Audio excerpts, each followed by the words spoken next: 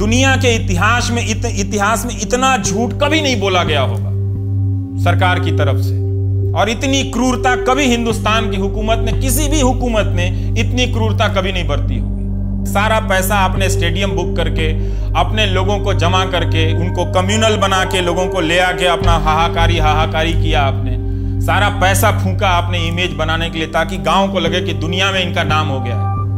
और अब जब दुनिया में सवाल उठ रहे हैं तो हिंदी के अखबार में छप, छपने नहीं दे रहे हैं कहीं। तो लोगों को अंधेरे में रखकर आप अपने घर में उजाला करना चाहते हैं। तो मुबारक हो आपको। तो आप डरा दीजिए, सिक्योरिटी वापस ले लीजिए, जो करना है कीजिए आप। आप जो कर सकते हैं, वो आप कीजिए। तड़पा के मारना है, तड़पा के मार दीजिए, टांग के मारना है, टांग के मार दीजिए, जो आप कर सकते हैं, वो आप कीजिए। लेकिन इसके बाद भी आप दुनिया के किसी मेज पर सर उठाकर बात नहीं कर सकते कि हमारे यहाँ इस तरह का मीडिया है। करना भी पड़ेगा तो हम ही लोगों का नाम लेना पड़ेगा। आप जाएँगे कहाँ पर?